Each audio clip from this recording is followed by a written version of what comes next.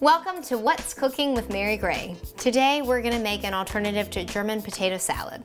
So to start the recipe, what we did was we steamed 16 ounces of cauliflower. So you can use steamer bags or a steamer basket, but it's about four to six cups of steamed cauliflower.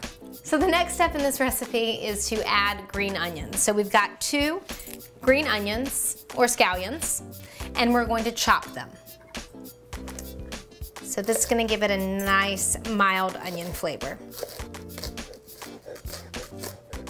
Okay, all right. So once we have this chopped, I'm gonna add it to a bowl.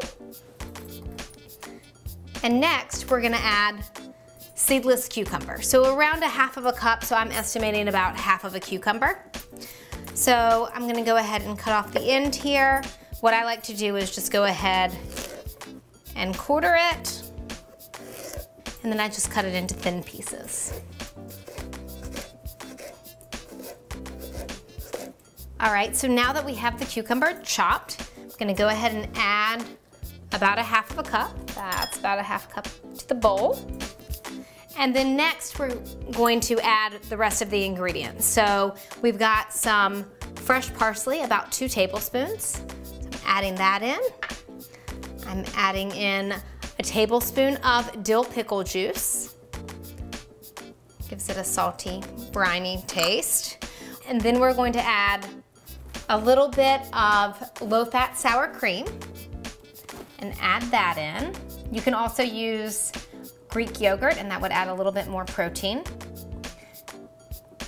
It also helps us to reduce the amount of mayonnaise that's in this recipe. So there is a quarter of a cup of reduced fat mayonnaise where you could use olive oil mayonnaise. That's what this is.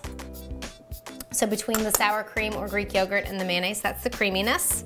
We're gonna add a little bit of yellow mustard, so a teaspoon of yellow mustard two slices of cooked bacon that I've chopped. That goes in. And then a dash of salt and pepper. All right. And then we're just gonna stir this together. Just until it's well combined.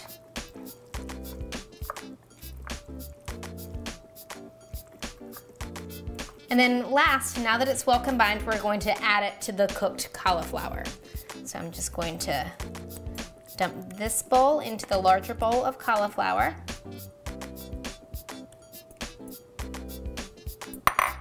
And then we're gonna stir it. So you've got the meatiness of the cauliflower and you've got the freshness of the cucumbers and you've got the brininess of the dill pickles and the mustard along with the creaminess of the mayonnaise and sour cream. So then top it with a little bit of fresh parsley for garnish and you're ready to serve.